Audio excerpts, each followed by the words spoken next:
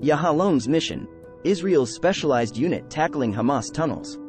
The Israeli military's strategic response to the persistent threat posed by Hamas in the Gaza Strip includes a specialized unit known as the Yahalom Commando Team. In recent days, the Israel Defense Forces, IDF, have escalated their ground campaign against Hamas, targeting hundreds of fighters and demolishing key enemy infrastructure. Central to this effort is the IDF's focus on countering Hamas's intricate network of underground tunnels, a formidable challenge given the group's adept use of covert tactics. With Hamas fighters retreating into a labyrinth of tunnels upon the entry of enemy forces into the Gaza Strip, the IDF faces a unique set of challenges.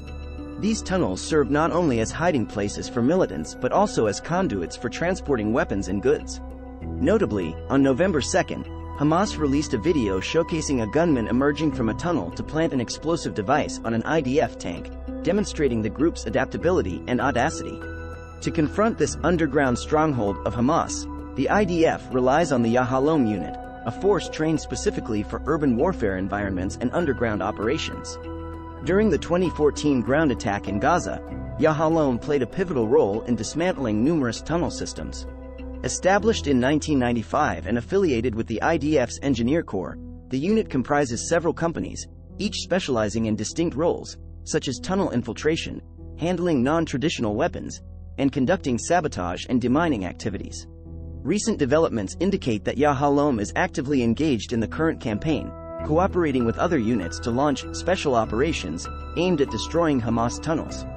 The IDF announced on November 3 that Yahalom successfully located tunnel entrances, planted explosives, and neutralized the threats. The selection process for Yahalom is rigorous, requiring candidates to undergo a four-day testing period followed by a comprehensive 16-month training course. This training encompasses mine clearance, sabotage, anti-terrorism tactics, and diverse skills like Krav Maga, skydiving, and rope climbing. Despite being thoroughly prepared, Yahalom members acknowledge tunnel warfare's dynamic and unpredictable nature. Lieutenant Hezi, a Yahalom member, emphasized the need for constant readiness and improvisation, stating, No two tunnels are the same. The first person to enter the tunnel must always be ready to improvise. Intelligence work is identified as a major challenge, as Hamas forces are prepared to collapse tunnels to harm IDF soldiers once inside.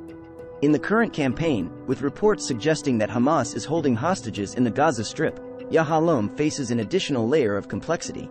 The unit must carefully weigh its actions to ensure the safety of hostages while addressing the persistent threat posed by Hamas's evolving tunnel system. Experts, including John Spencer from the Modern War Institute at the U.S. Army Academy West Point, highlight the advanced tools at Yahalom's disposal, such as unmanned pilots, robots, air and ground sensors, drills, night vision goggles, and radio equipment. However, the ever-changing nature of Hamas's tunnel system introduces an element of surprise for Israeli soldiers. Israeli Prime Minister Benjamin Netanyahu recently visited the Yahalom unit to receive a progress report. During the meeting, he emphasized the unit's crucial role in the ongoing campaign against Hamas, reiterating the commitment to dismantle the group. Netanyahu affirmed, We have only one mission, which is to take down Hamas. We will not stop until we complete it, with your help, underscoring the Israeli people's reliance on the Yahalom unit for the success of this mission. Thanks for watching.